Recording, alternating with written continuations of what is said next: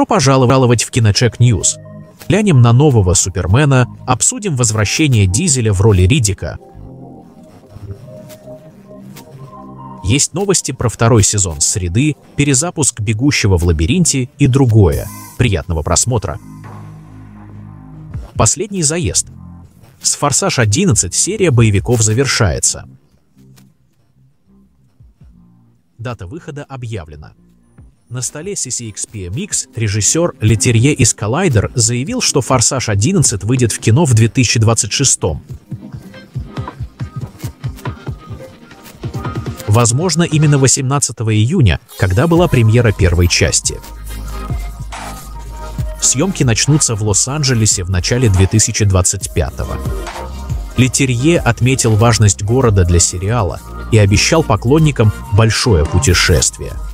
Хотя многие детали не ясны, вроде возвращения Мамоа как Риос, кажется, что 11 серия вернется к корням. Вместо мировых миссий Теперь акцент на большом перевороте, возможно, с гонкой на четверть мили. Это согласуется с планами сокращения расходов, недавно обсуждавшимися. Вроде новый фильм снимется дешевле, чтобы быть более прибыльным. Последние части франшизы приносили все меньше денег. Они хотят сыграть по-безопасному с завершением «Форсажа». Вот он, новый человек из стали – Ган дает нам первый взгляд на Корен Сведа в костюме Супермена на своем Инстаграм.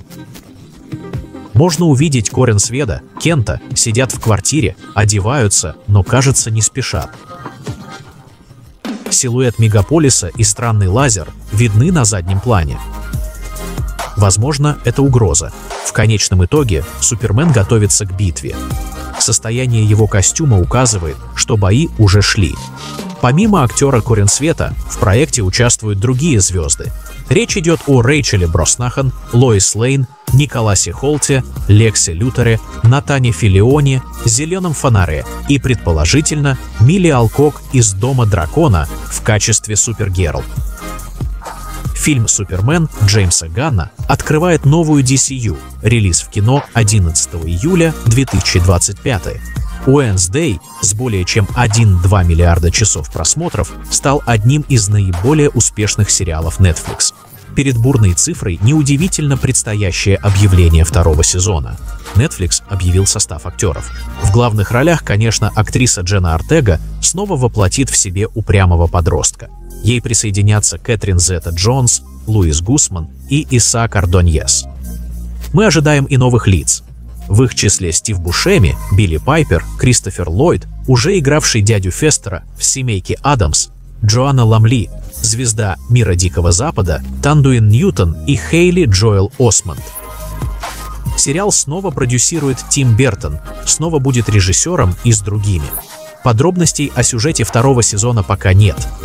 Однако уже идут слухи, что Мартишия Адамс, матриарх семейки Адамс, сыграет куда большую роль во втором сезоне. Конец первого сезона определенно предлагает большой простор для захватывающего сюжета. Как говорит Джена Артега, это будет страшнее, чем раньше. Съемки в Wednesday идут в Ирландии. Возможность посмотреть новые серии в этом году под вопросом. Возвращаемся в Средиземье. Два проекта мира Толкина, второй сезон «Колец власти» и «Война Рахирим». Warner уже планирует крупные проекты.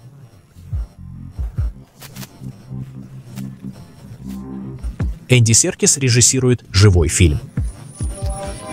«Охота на Голума» в начальной стадии разработки сценария. Энди Серкис, актер Голума, станет режиссером и главным актером.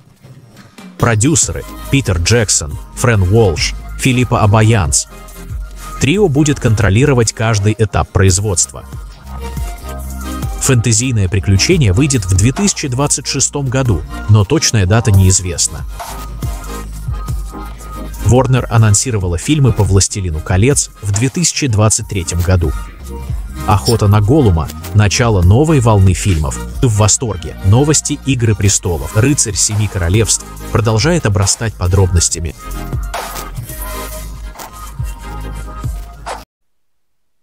Нашелся режиссер серии объявлено. Как сообщает The Hollywood Reporter, HBO привлекло Оуэна Харриса, ответственного за несколько серий сериала Netflix «Черное зеркало». Харрис будет режиссировать первые три эпизода «Рыцаря Семи Королевств» и участвует в проекте в качестве продюсера. Разработка «Курьер» услужливо принял количество эпизодов «Рыцаря Семи Королевств». Первый сезон получит 6 серий, обещает более компактное вступление по сравнению с «Игрой престолов» и «Домом дракона». Решение кажется разумным, учитывая, что 160-страничный оригинальный текст Джорджа Р.Р. Мартина был также достаточно коротким. Сюжет сериала разворачивается до событий «Игры престолов» и рассказывает историю молодого и наивного странствующего рыцаря Дункана, путешествующего по стране со своим оруженосцем Яйцем и испытывающего приключения. Знакомые с «Игрой престолов» знают, что оруженосец Эг Эйгон Таргариен V. Главные роли Питер Клаффи и Декстер Сол Ансель. Сериал может выйти в эфир летом 2025 года. Первому «Бегущему в лабиринте» 10 лет, но Дисней планирует мягкую перезагрузку. Как сообщает The Hollywood Reporter, это не просто пересказ трех фильмов, но новое приключение из вселенной «Бегущего в лабиринте», начало новой трилогии. Дисней наняла Джека Пеглана, участника «Трансцендентности» и «Завета с инопланетянами», для написания сценария фильма. Большая часть съемочной группы вернется. Пока открыт вопрос о директоре, Вестбол только продюсер. Точный сюжет нового «Бегущего в лабиринте» неизвестен, создатели продолжают или дополняют сюжет. The Hollywood Reporter. Сюжет может снова оказаться вокруг группы молодых людей, борющихся за жизнь. Дата выхода неизвестна. 11 лет назад заявлено о Ридик 4 с вином дизелем, но пока мало что произошло. Ожидание закончилось. Ридик 4 Фурия начинаются в августе. Variety сообщает, первый дубль 26 августа. Ожидаемый сиквел продолжает «Черную дыру» 2000, «Хроники Ридика» 2004 и «Ридика» 2013. Снимается в Германии, Испании, Великобритании. Снова история вращается вокруг антигероя Ричарда Б. Ридика, Вин Дизель, вернувшегося на свою родную Фурию сражаться с монстром с фурианцами. Дэвид Туи, режиссер предыдущих частей, вновь ответственен за сценарий и режиссуру.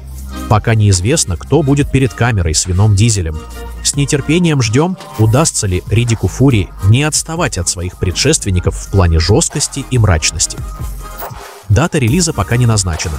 От Росомахи до Робин Гуда. После Эрла Флинна и Кевина Костнера, между прочим, любимец Голливуда Хью Джекман теперь также вживается в роль культового персонажа. Однако на этот раз в совершенно иной версии, чем его предшественники. По информации Deadline, Джекман исполнит новую интерпретацию героя в смерти Робин Гуда, не похожую на его предшественников. Худ представлен одиночкой, борющимся с прошлым полное преступлений и убийств. Тяжело раненый, он отдает себя на попечение Джоди Комер, которая предлагает искупление. Режиссер Майкл Черноски рад возможности снять приземленного Робина Гуда. Обещает новую интерпретацию классической истории. Сможем ли мы ожидать фильм вроде Логана в средневековой обстановке? Съемки смерти Робина Гуда начнутся в феврале 2025 поэтому фильм, скорее всего, доступен не раньше 2026 года.